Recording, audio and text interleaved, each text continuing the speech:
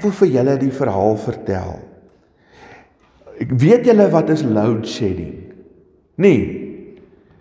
Dit gebeur nogal baie in Suid-Afrika. Load shedding happens very often in South Africa. Do you know what load shedding is? What is it? Exactly. When the electricity goes off and we left in the dark. Load shedding is wanneer die ligte afgaan en ons in die donker is. En wat doen ons wanneer ons in die donker is sodat ons lig kan kry? Wat doen ons dan? 'n Flitslig en ons sit dit aan. Ja, what else can we use to make light when it's dark? A candle. Yes. Now, this story of mine has to do with a candle. It was one evening, all the lights in our house went dead. Een aand het al die ligte in ons huis donker geword. Dit was pikdonker. Toe gaan ek na die kas waar ons die kersse bære en ek steek my hand so in en ek vat een van die kersse en skielik sê die kers los my uit. I took a candle out of the cupboard and when I took the candle I looked at it it said to me leave me alone. Can you believe it? I was shocked. Ek het my alie afgeskrik toe ek sien hierdie kers het 'n gesiggie en hy kan praat. En ek sê toe vir die kers maar Hoe kom dit ek jou alleen los? En die kers kyk vir my so en hy sê: "Wel, ek is nog nie gereed om my liggie te laat skyn nie. Ek moet nog baie oefen voordat my liggie kan skyn." The candle said to me when I asked him, "Why mustn't I use you to bring light in the dark?" And the candle said to me, Well, I'm not quite ready to do it. I still have to practice to be a candle that can give light. Ek sit hom toe maar terug. En ek wil net die ander kersse vat. Toe sê die ander kersse: "Nee, los ons ook uit. Ons is ook nog nie gereed nie." Die een sê vir my: "Hy het eers nog iets anders wat hy moet gaan doen." Hy moet eers sy lewe wat so deurmekaar is in orde gaan kry. The second candle said, "My life is a mess and I have to fix it before I can be a shining light." Julle sal nie glo nie, daar was 'n vierde kers ook, 'n derde en 'n vierde kers. En die vierde kers het vir my gesê, "Ek leer mense sing." Ek leer die ander kersse om 'n pragtige koor te wees en mooi saam te sing. I am the candle that has to teach the other candles to sing a beautiful song. And the song I'm I'm teaching them is this little light of mine I'm going to let it shine kers wat die ander kerse leer om te sing se liedjie wat hulle haar leer is this little candle hierdie klein liggie van my gaan ek laat skyn. En ek wil julle dit ook leer. Ek het by my vrou gekom en vir haar gesê jy gaan nie glo wat het met my gebeur nie Ek het die kerse gaan haal om lig te kry en elke een van hulle het een of ander verskoning. Die een is te besig, daai een is 'n liggie moet nog meer geoefen word en die ander ene leer die ander om te sing. Wie hulle wat sê tannie Karikato vir my? Sê, is hulle alweer besig met hulle streke? What I want you to remember. We are God's light in the world. Ons is Christus se liggies in die wêreld. Ons kan nie soos hierdie kersie sê nee, nee, nee. Ek moet nog eers oefen om 'n kersie te wees nie. I can't say no, no, no as God's light in the world that I'm not ready to be God's light in the world. When you love Jesus, wanneer jy Jesus liefhet, is jy sy lig in 'n donker wêreld. En hoe laat ons ons ligte skyn? Ons is gehoorsaam. We love each other. We help each other. Ons gee om vir mekaar. Dan skyn ons liggies helder. Sal julle dit onthou? So gaan en wees soos kersse wat lig bring daar waar dit donker is met Jesus se liefde. Dankie julle, hoor. En nou gaan julle saam met oom Nico Sondagskool toe. Daar's oom Nico. Hy gaan julle you going to Sunday school with Uncle Nico. You are welcome to go.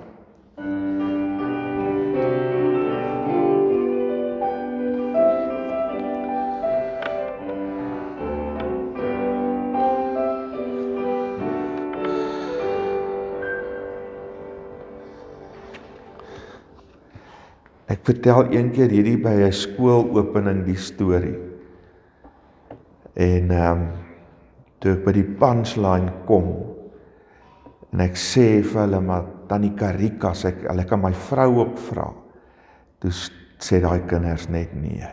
Hierdie ding werk nie. Daar's nie so iets soos 'n kers wat kan praat nie. ek sal dit nooit vergeet nie. Liewe vriende, Ek wil hê jy moet jouself 'n bietjie indink in in die volgende mm, situasie as jy wil.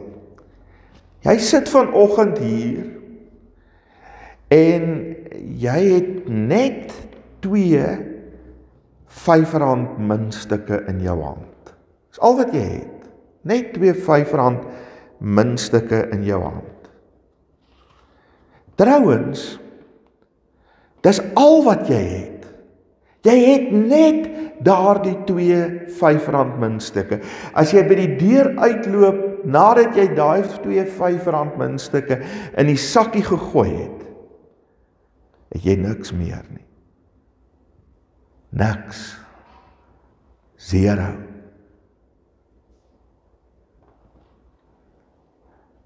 Hoe laat dit jou voel? Wat dink jy daarvan? Wat maak dit in jou binneste wakker om te weet jy het daardie heel laaste jou enigste geld wat jy het in die sakkie gegooi. Man, ek wil nou regtig 'n ander vraag ook vra. Wie op aarde doen so iets? Ek is nie seker dat enige een van ons die vrymoedigheid, die die geloof, die oorgawe het, noem dit wat jy wil, wat daardie twee muntstukkies, die enigste twee wat ons het in 'n sakkie sal gooi as die sakkie in die kerk omgaan nie. Dit is mos absurd. Wie doen so iets? Dis roekeloos. Dis om dis om iets te doen wat jy voor jou siel weet jou eintlik in 'n groter dilemma gaan laat as wat jy tans is met daardie twee minstukkies. Maar daar is iemand aan wie ek julle graag wil voorstel wat dit wel gedoen het. Julle kan gerus julle Bybels by ehm um, Markus 12 oopmaak vers 41. En ek wil julle aan hierdie hierdie besonderse mens 'n mens sonder 'n naam sy het nie 'n naam in hierdie verhaal nie.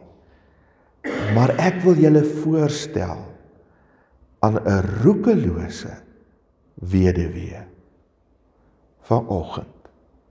Kom ons lees die teks. Jesus het oorkant die offergawe kus gesit en kyk hoe die skare kopermunte in die offergawe kus gooi. Baie rykes het baie ingegooi. 'n Arm weduwee het gekom en 2 lepton lepton is die twee munte of 'n munt wat die minste werd was in Jesus se tyd. Sy 2 lepton wat same kwadrant maak. Ek sal net nou verduidelik wat 'n kwadrant is. Maar sy het die kleinste twee muntstukkies wat sy wat daar bestaan, het sy ingegooi in die offergawe kus. Hy, Jesus, het sy disippels nader geroep en vir hulle gesê: Amen. Ek sê vir julle dat hierdie weduwee wat brandarm is, meer ingegooi het as almal wat geld in die offergawe kus gegooi het. Want almal het uit hulle oorvloed ingegooi, maar sy het ten spyte van haar behoeftigheid alles ingegooi wat sy gehad het. Haar hele lewensonderhoud. 'n Roekelose weduwee. Toe hy Jesus die tempelterrein verlaat, sê een van sy disippels vir hom: "Meester, kyk net watter indrukwekkende klippe en geboue is hier." Jesus sê toe vir hom: "sien jy hierdie groot geboue? Hier sal beslis nie een klip op 'n ander gelaat word nie. Alles sal afgebreek word. Net tot daar, liewe vriende. Ek het so klein bietjie agtergrond wat ek graag met julle wil deel sodat julle hierdie teks net so bietjie beter 'n greep op kan kry. Heel eerste moet ons verstaan wat 'n weduwee in Jesus se tyd was. En ek weet Jesus sit hier onder ons 'n klompie weduwees. En eh, ek weet dat dit waarskynlik vir julle swaar en moeilik is en 'n ou terugverlang na jou geliefde wat nie meer hier is nie. Maar in Jesus se tyd was weduwees absoluut 100% um oorgelaat aan aan hulle eie omstandighede. Hulle was die hulle kon nie eers bedel nie. Hulle mag nie eers gebedel het nie. Hulle was die armstes van die armes. En daarom lees ons dwars deur die Ou Testament as die profete met 'n klag na Israel toe kom, wie noem hulle eerste? Sê julle gee nie meer om vir die weduwees en die wese nie. Hulle is eerste in die lys van mense wat hulpbehoevend is, waarna Israel moet omsien en wat Israel gewoonlik afgeskeep het en in baie gevalle misbruik het. Dis ook belangrik om te besef dat 'n vrou in Jesus se tyd niks meer en niks minder was as 'n besitting eers van haar pa wat vir haar moes sorg en na haar moes omsien en later van haar man wat daardie verantwoordelikheid van haar pa oorgeneem het nie. En as hy sou gesterf het, haar pa of haar man, dan was sy absoluut aan haar eie lot oorgelaat. Sy moes maar met die almoses wat mense goedhartiglik dalk vir haar gee, moes sy oorleef. Met 'n bietjie handewerk iewers 'n paar goedjies maak wat sy kon verkoop. Maar sy was uitgelewer. Absoluut. Wat die muntstukke betref, is dit belangrik om te verstaan dat sy, soos ek gesê het, 'n lepton was die kleinste moontlike munt wat ingegooi kon word. En dit het 1 kwadrant opgemaak. Nou 64 kwadrante was een dag se loon in Jesus se tyd. Was een dag se loon. Sy het dus 'n fraksie 1/64ste maar reg gehad om op te leef. 'n Dagloon was gegee aan 'n arbeider sodat hy vir daardie dag vir homself sou en sy familie sou kon sorg. Dis soos om te sê hierdie vrou het 'n 10 rand in haar hand, twee muntstukke wat 10 rand werd is en 'n dagloon, 'n loon waarmee jy in een dag vir jouself kan sorg vir 4 wat 64 rand is, het sy maar net 10 rand van gehad. So arm was hierdie weduwee. Die volgende ding wat ons moet besef en verstaan is hoe die offerdiens rondom die tempel gewerk het. Daar was binne die tempel op verskillende plekke tot en met 13 verskillende offerkiste geplaas. En daar was sommige offerkiste wat 'n voorgeskrewe bedrag gehad het wat jy moes ingooi en daar was ander waar jy vrywilliglik kon besluit om geld in te gooi. Hierdie offerkis waarvan hier sprake is, is waarskynlik een van daardie vrywillige offerkiste waar daar nie 'n voorskrif was nie. Maar by elke een van hierdie offerkiste, vriende, het daar 'n priester gesit. Hy het gekyk wat gooi jy in? Hierdie kus. En as dit te min was, het hy vir jou gesê, "Sorry ou maat, jy moet meer ingooi." En as jy nou werklik as jy nou regtig ehm um, en dit moet ek ook sê, die priester het aangekondig dat almal hoor wat jy in daai kus gegooi het. En as jy nou regtig 'n groot bedrag ingegooi het, het die priester op 'n trompet geblaas sodat almal hoor. Pietie het nou die heel hoogste, die heel grootste, die heel beste gegee. Ek dink as ons dit hier moet doen, het ons môre geen lidmate oor nie. Seker reg. Want wie wil dit nou in die openbaar hê?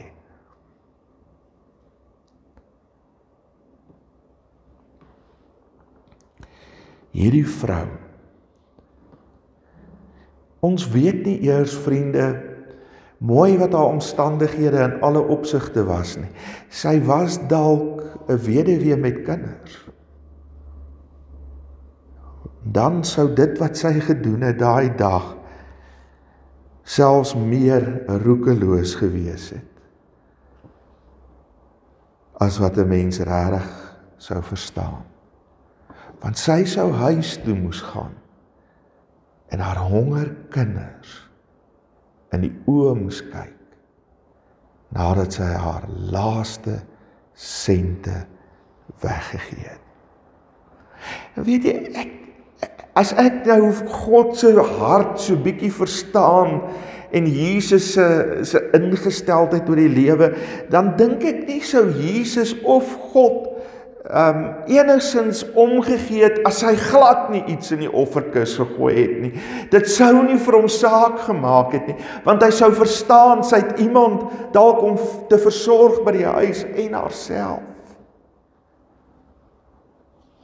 Maar tog doen sy dit.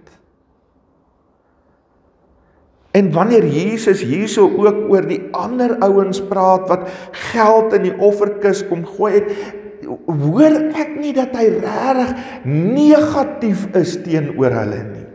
Al wat hy uiteindelik sê is dat as hy hierdie twee mense, die een wat baie in die in die en die roekelose weduwee met mekaar moet vergelyk, het sy baie meer gegee as wat hy wat hoop geld vir die kerk gegee het gegee het. Dis al. Hy vergelyk net die twee want die een gee alles Sy hou niks terug die roekelose weduwee nie, maar die een wat baie het, gee uit die baie maar 'n fraksie, 'n klein deel van die baie wat hy het. Maar ek wil hê julle moet mooi hoor van môre. Hierdie teks gaan nie oor geld Hierdie teks gaan nie oor jou dankoffer nie. Hierdie teks gaan oor iets baie dieper, iets baie belangriker, iets wat wat regtig aan die hart van die mens gryp, aan die kern van ons verhouding met die Here uiteindelik raak. Hierdie arm roekelose weduwee is nie net roekeloos nie. Sy's iemand wat ons almal se rus kom verstoor vanoggend. Wat ons ongemaklik laat sit in die bank en ongemaklik laat staan hier voor die preekstoel. Wat ons vrede so bietjie deurmekaar kom krap. Ons ingesteldheid op die lewe en dit wat belangrik is so bietjie op sy kop kom keer.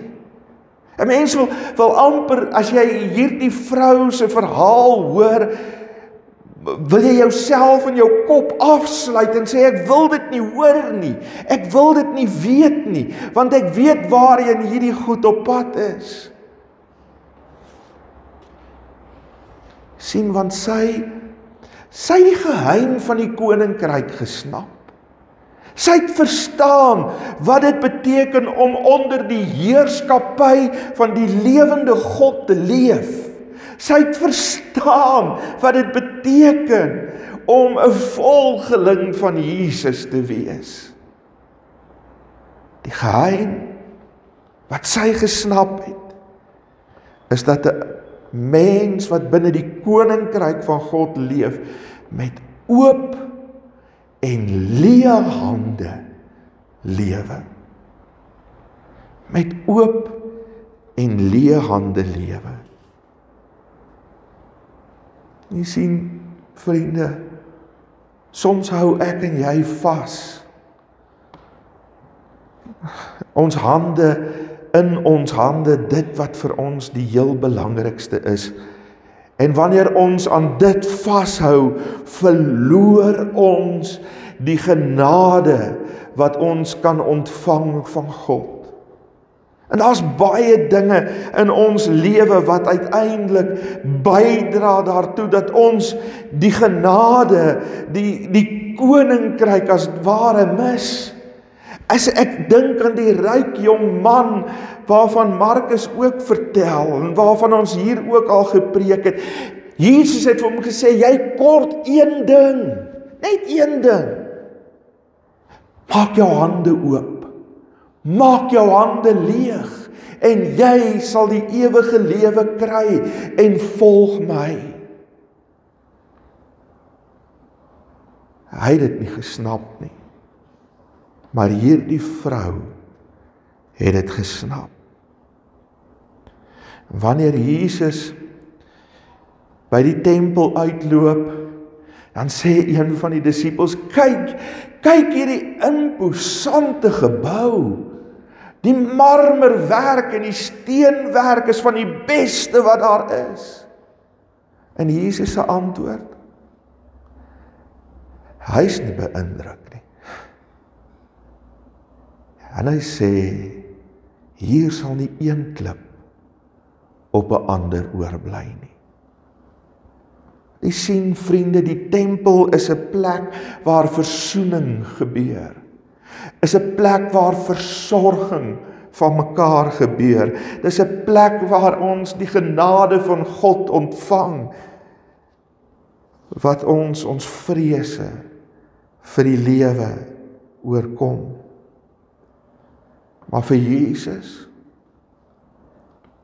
het die tempel net 'n leë steengebou geword. Interessant. Dis die laaste keer wat ons lees hierdie van die vrou en die offerkis dat Jesus in die tempel ooit weer gepraat het. Dis die laaste keer dat hy sy voete ooit weer in die tempel gesit het. En dit bring ons by die vraag wat het Grydien geword? 'n Plek waar ons mekaar versorg, waar ons mekaar ondersteun, waar ons mekaar help en aan mekaar genade betoon. Want jy sien God se tempel is nie meer een van steen en klip en sement nie, maar van vlees en bloed. Paulus het gesê ek en jy is die tempel van die Heilige Gees. Hy woon in ons.